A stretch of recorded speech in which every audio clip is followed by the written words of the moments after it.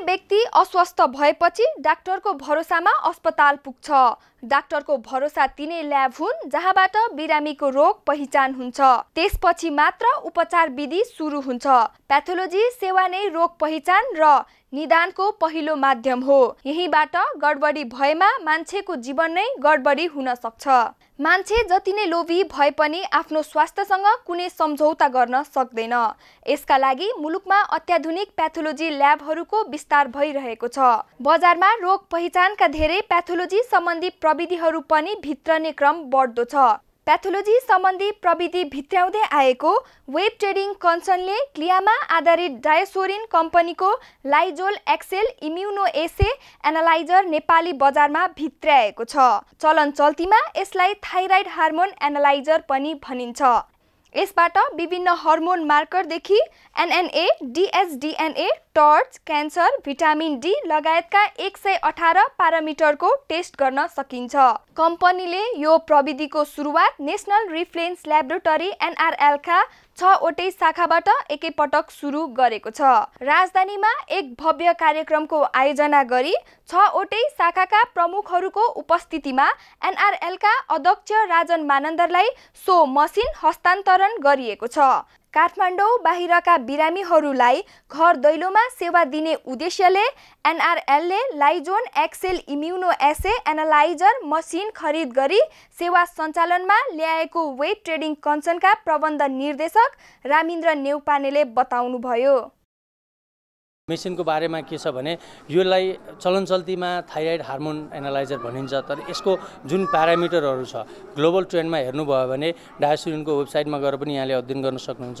हामी एक सय अठार प्यारामिटर अहिले उत्पादन भएको रिएजेन्टहरू यो मेसिनमा यो प्लेटफर्ममा चाहिँ परीक्षण गर्न सकिन्छ र विश्व बजारमा उपलब्ध नयाँ नयाँ इनोभेसनहरू यो कम्पनीले ल्याउने गर्छ। उदाहरणको लागि भिटामिन डी भन्ने टेस्ट जुन गरिन्छ त्यसको यो इनोभेटर हो। त्यस त्यस्तै क्लियर प्लेटफर्ममा चाहिँ एएनए डिएसडिएनए लगायत विभिन्न टर्च क्यान्सर हार्मोन मार्करहरू चाहिँ यो मसिनले टेस्ट गर्छ र यसको लागि एनआरएलले जुन नेपालमा क वर्गको ल्याबको हिसाबमा एनआरएल इस्टाब्लिस छ क वर्गले गर्नुपर्ने टेस्टहरू यो मसिनबाट नेपाली जनताहरूलाई एनआरएलले चाहिँ आफ्नो सेवा सुविधा विस्तार गर्नको लागि हाम्रो कम्पनीसँग हातेमालो गरेर यो मेसिनमा अब काठमाडौँ बाहिर पनि रहेका बिरामीहरूको सेवा गर्ने उद्देश्यले एनआरले यो मसिन खरिद गरी सेवा सञ्चालनमा ल्याएको कुरा यहाँलाई जानकारी गराउँछ।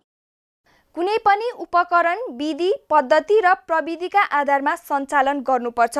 त्यसैले लाइजोन एक्सेल इम्युनो एसे एनालाइजरबारे एक दिने साइन्टिफिक तालिम समेत प्रदान गरिएको छ। सो अवसरमा प्याथोलोजिस्ट र ल्याब टेक्निसियनहरूको सहभागिता रहेको थियो। बायोकेमिस्ट्री भन्नाले तपाईँको अब यसमा विभिन्न टेस्टहरू पर्छन्। हामी चाहिँ तपाईँको यो स्पेसल टेस्टहरू पनि पर्छन् बेसिक टेस्टहरू पनि पर्छन् होइन? बेसिक टेस्ट भन्नाले हामीले सबै कुराहरू जस्तै अब लिभर फङ्सन टेस्ट हो कि तपाईँको लिपिड प्रोफाइल गर्नेदेखि लिएर रेनल फङ्सन टेस्टदेखि हेर्नेदेखि लिएर तपाईँको कार्डियक प्रोफाइल धेरै टेस्टहरू पर्छन्। यिनीहरू सबै चाहिँ बेसिक टेस्टहरूमा पर्ने भयो तपाईँको होइन?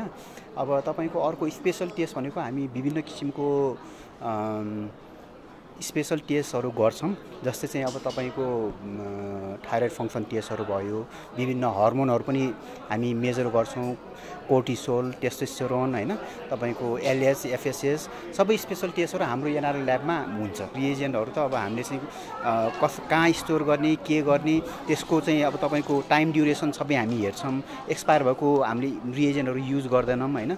अब जनशक्तिमा पनि हामी कहाँ चाहिँ कस्तो भन्दाखेरि तल्लो स्टोरको कुनै पनि छैन सबै हामी कहाँ स्टाफहरू चाहिँ बिएमएलटी भन्दा बिएमएलटी र बिएमएलटी भन्दा माथिका मात्र। क्वालिटी रिपोर्टको लागि के छ भनेदेखि अब जस्तै कि अब हाम्रो एनआरएलकै कुरा गर्ने हो भनेदेखि हामीले चाहिँ अब यो थ्री टीको चाहिँ सिद्धान्त अप्नाएको छौँ थ्री टी भनेको अब एडभान्स टेक्नोलोजी भयो एउटा चाहिँ एउटा चाहिँ टेक्निसियन भयो होइन? टेक्नोलोजी टेक्निसियन र टेक्निक थ्री टीको सिद्धान्त चाहिँ हामी अप्नाइरहेछौँ र के छ भनेदेखि सबभन्दा मेन कुरो चाहिँ क्वालिटी रिपोर्टको लागि चाहिँ हाम्रो क्वालिटी कन्ट्रोल चाहिँ एभ्री डे चाहिँ हामीले गर्नुपर्छ। हाम्रो मेन मेजरमेन्ट नै क्वालिटी कन्ट्रोल हो। जबसम्म हाम्रो मेसिनको क्वालिटी हुँदैन डेली आएर हामीले चाहिँ मेसिनको भ्यालिडेसन हेर्नुपर्छ क्वालिटी ठिक छ कि छैन। त्यसपछि मात्रै त्यो रिपोर्ट निस्केपछि त्यो रिपोर्टलाई चाहिँ हामी भ्यालिडेसन गरेर चाहिँ डिस्प्याच गर्ने हो। त्यसैले क्वालिटी भनेकै हाम्रो मोटो हो। प्याथोलोजी भनेको बिरामीको सही उपचारका लागि क्लिनिसियनहरूलाई सपोर्ट गर्ने माध्यम हो।